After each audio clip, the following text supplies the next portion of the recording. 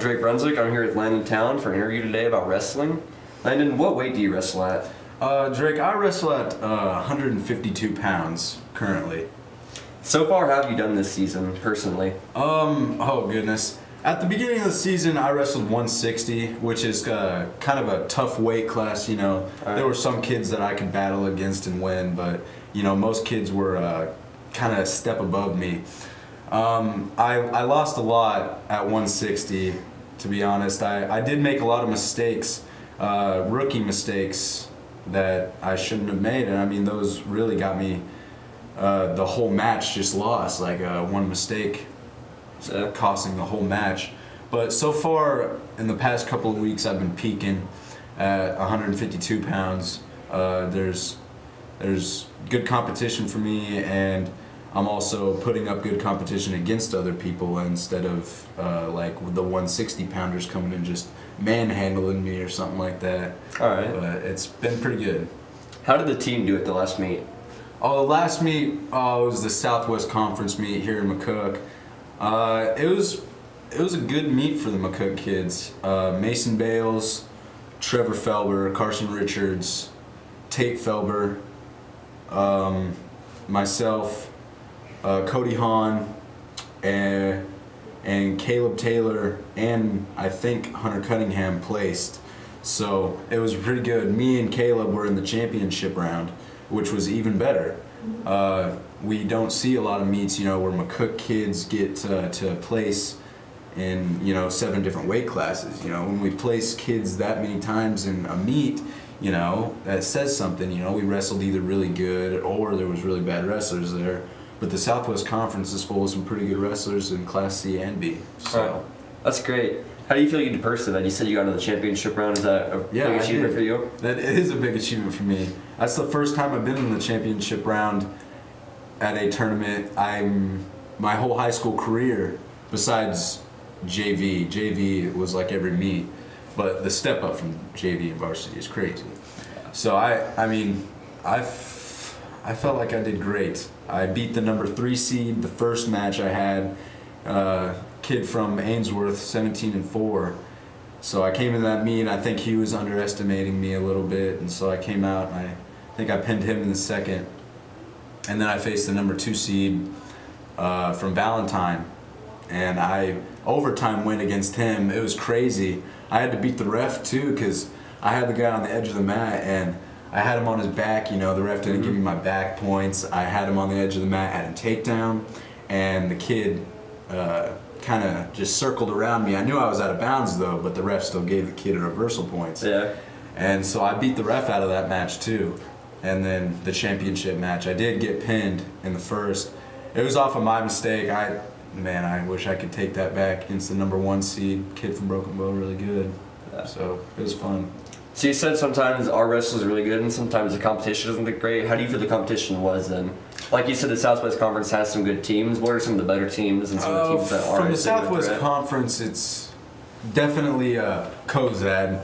Kozad is a really good team. They're uh, in our district, so obviously they're going to compete against us. They're Yeah. going to come in to wrestle uh, instead of just lollygag, you know, kind of dance around. Uh, Valentine is another one. Valentine is crazy at wrestling. Uh, every year, I think they have at least a couple state champs. I mean, a couple state medalists. Every kid pretty much on their team goes to state. I mean, they have a great wrestling program. Some of their coaches were uh, national. Uh, one of their coaches was a national champ, I think, in college. I don't know for what college, but it's very good. Um, and also Broken Bow.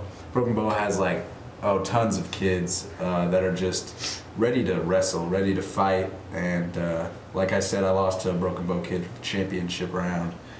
Uh, they they're pretty good in Class C. I think they're ranked number two, right behind Valentine actually. So they put on a fight, and also Ogallala. I don't know if Ogallala is more of a com- competitive team for every other kid. I know that the wrestler they have at my weight is a very competitive kid. He likes to compete and uh, definitely goes after the win every single match. And so I'll have him at districts because Ogallala is a district team. You know, they're also they're they're just coming out to win, and we got to do the same. All right. What do you think you could improve on from the last beat here? From the last beat, honestly, I could prove on a, improve on a couple things. As in uh, my position on the mat, you know, when people head snap me, you know, I'll tend to step, and uh, I just need to uh, learn to, you know, not uh, get in positions where uh, the opponent can uh, either shoot on my legs or, you know, arm drag me. I mean, get me out of position. I mean, position is a very important part.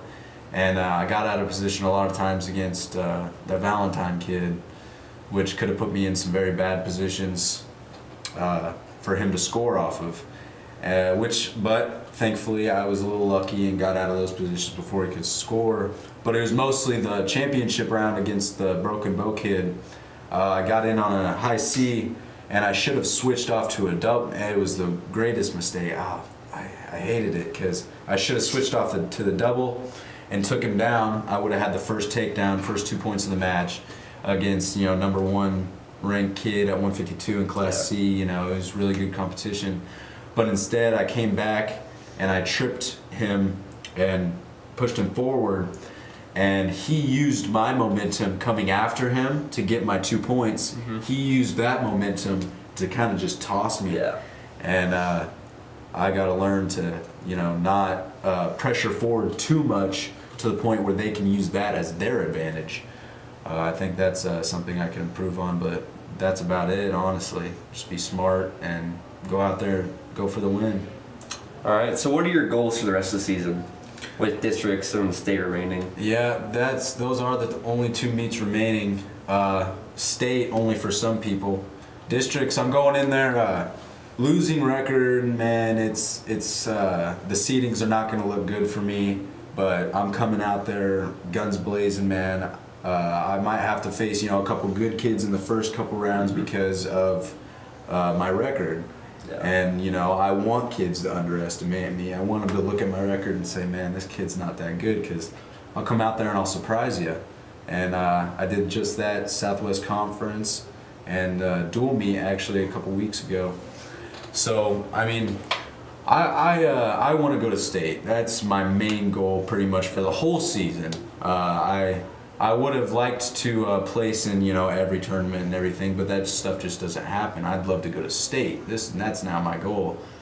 Uh, but in order to go to state, I have to place top four in districts, which there are uh, tough tough kids at 152 pounds at, at districts for me.